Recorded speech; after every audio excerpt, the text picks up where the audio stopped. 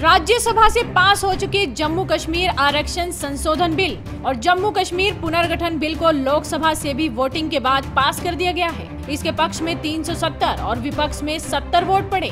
Subject to further correction मत विभाजन का निर्णय। हाँ three seven zero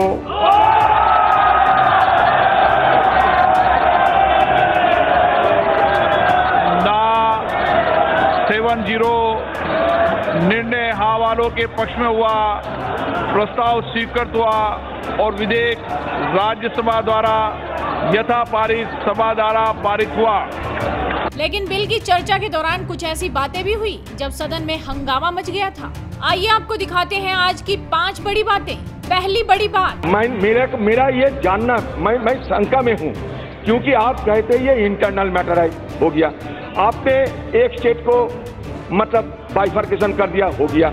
लेकिन लेकिन, नहीं नहीं नहीं, लेकिन मेरा कहना है कि 1948 से 1948 में जहाँ यूनाइटेड नेशन की मॉनिटरिंग हो रहे हैं, वो क्या इंटरनल मामला है? Number one Shimla agreement Lahore समझौता हम लोग किए थे, वो क्या इंटरनल मामला थे? ये बायलैटरल कुछ दिन पहले जयशंकर जी पोम्पियो जी को कहा कि ये हमारा बायलैटरल मामला है आप इसमें दखल अंदाज मत करो। तो फिर उसके बाद भी क्या? जम्मू कश्मीर इंटरनल मामला हो सकता है? ये तरह तरह की बात है। ये तरह तरह की बात है। आपने सबको धारियाँ उड़ा के हमें समझना चाहिए। हम तो जानना चाहते हैं। अरे। दूसरी बड़ी बात।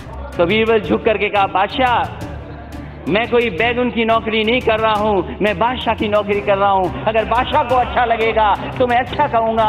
बादशाह को खराब लगेगा तो मैं खराब कहूँगा। तो माननीय गवर्नर साहब ने वही फैसला लिया, जो फैसला आप चाहते थे। वो कॉन्शियस असेंबली का फैसला नहीं है।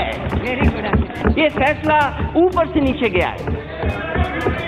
और ये दुख की बात अगर अगर स्पीकर सर, कश्मीर में किसने क्या खोया, हमने भी खोया है। हमारे लोगों ने खोया है। तीसरी बड़ी बात। मैं जम्मू और कश्मीर बोलता हूँ तो पीओ को इसके अंदर ही आता है। एक सेकंड भाई सुनो तो। सुनिए तो आप। मुझे बोलने नहीं देंगे। आप मैं मैं स्पष्ट करता हूँ। मान्य मंत्री जी प्लीज़ मैं जब जम्मू एंड कश्मीर बोलता हूँ मान्य सदस्य इसलिए एग्रेसिव हूँ। कि जम्मू एंड कश्मीर के पीएको को आप भारत का हिस्सा नहीं मानते हो क्या? एग्रेसिव ना हो। जान दे देंगे इसके लिए। क्या बात कर रहे हो आप? एग्रेसिव होने की क्या बात कर रहे हो? जान दे देंगे इसके लिए। चौथी बड़ी बात। आज जो 370 खत्म हो रहा है कश्मीर के नौजवानों को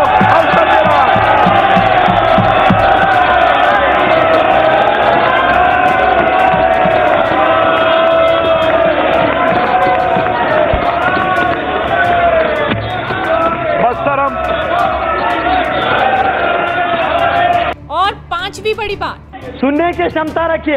हाँ, सुनने की क्षमता रखिए। अभी तो टीलर है। सुनने की क्षमता रखिए।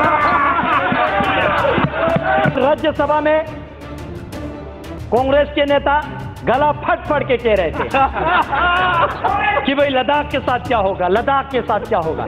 तो ये थी सदन की कुछ पाँच बड़ी बातें। हालाँकि लोकसभा में गृह मंत्री अमित शाह ने जम्मू कश्मीर आरक्षण बिल को वापस ले लिया है। मैं ये बिल को विड्रॉ करना चाहता हूँ। सदन अनुमति दे, क्योंकि धारा 370 जब राष्ट्रपति महोदय समाप्त करेंगे, इसके बाद ये बिल को लाने की ज़रूरत नहीं होगी।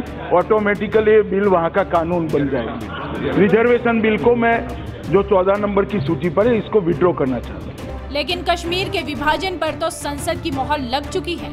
भूगोल बदल चुका है। इस खबर पर आप भी अपनी राय रखिए। साथ ही आपके अपने चैनल हेडलाइंस इंडिया को सब्सक्राइब कीजिए।